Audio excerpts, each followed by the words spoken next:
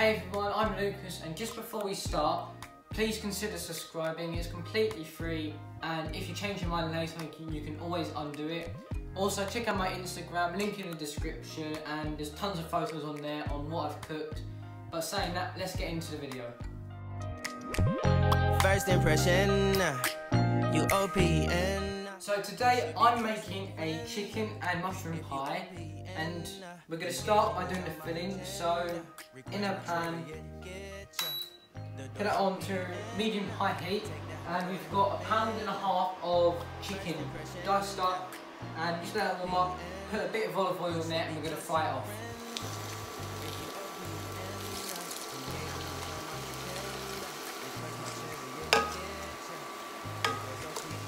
So now the chicken is all cooked through, we're going to take it out of the pan and put it on a plate, put aside, whilst we cook the rest of the veg and or the rest of the filling.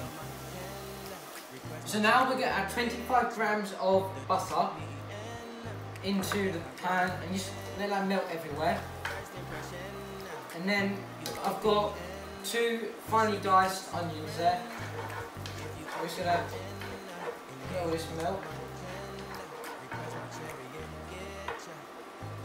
And then in goes the onion and you want to cook that for a few minutes and then we're going to add the mushrooms in.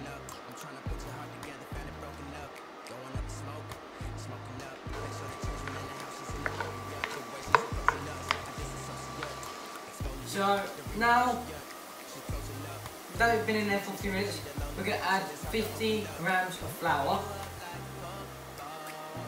Just mix that all in well.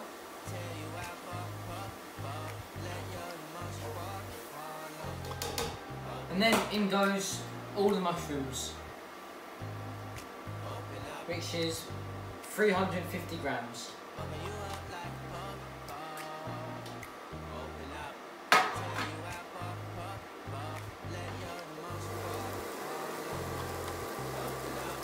Okay, so after around one minute, I have got 300 milliliters of chicken stock here.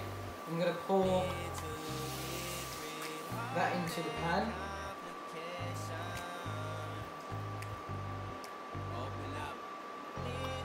Just like that. And then, I've got 300 milliliters of milk. We're going to pour that as well into the pan, slowly.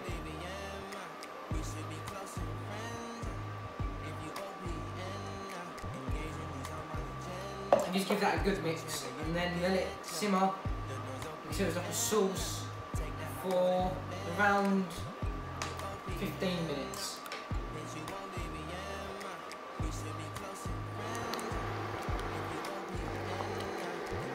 So it's been around 5 minutes and here I've got whole grain mustard, wonderful flavours and it's going to take this dish to the next level. And you want to add 4 teaspoons of that into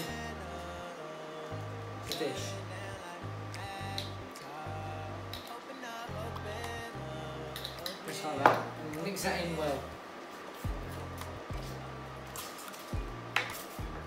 Now season that with some salt and pepper.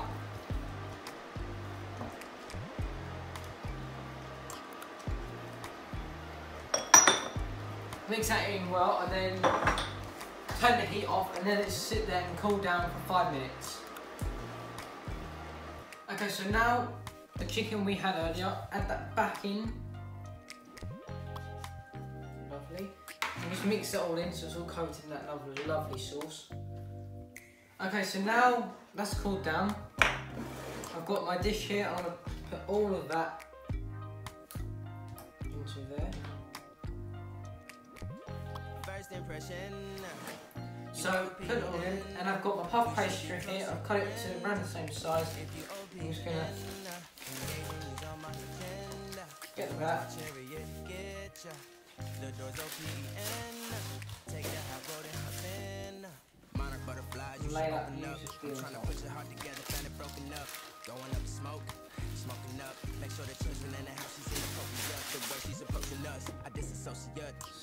associate. Silver Exfoliate, the renegotiate. She's closing up. Come to visit me, she say that she the loneliest, and it's hard to open up. Open you up And just get a sharp knife or scissors you could use like this. I might use scissors. And just let your emotions trim off all the excess. open up. Open up. And get a fork and just go around and push it into the sides. Baby Emma. We should be closer than friends. uh, If you OPN, uh, And then I've got an egg here. I'm gonna crack that The door's open. into a bowl. Give that a little whisk.